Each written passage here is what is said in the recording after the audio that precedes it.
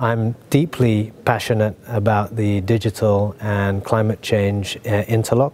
I think uh, there's a lot that uh, digital technology can do to help accelerate the low carbon energy transition. Uh, very proud as Baker Hughes that earlier this year we have made our own carbon commitments to reduce our carbon emissions 50% by 2030 and to be net zero by 2050.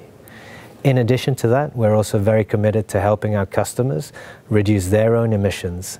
Some examples in our solutions would be Lumen, which is a sensor, digital, drone, and cloud-based solution to monitor, enhance, and optimize methane emission leak detections.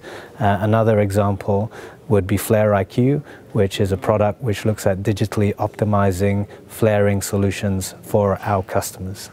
I think it's uh, hugely important that we focus on the right ecosystems, partnerships, uh, in order to bring the right kind of mindsets, cultures, and behaviors to drive optimization for our customers in the oil and gas sector to improve uptime, reduce non productive time, and also linked with that to reduce our customers' emissions.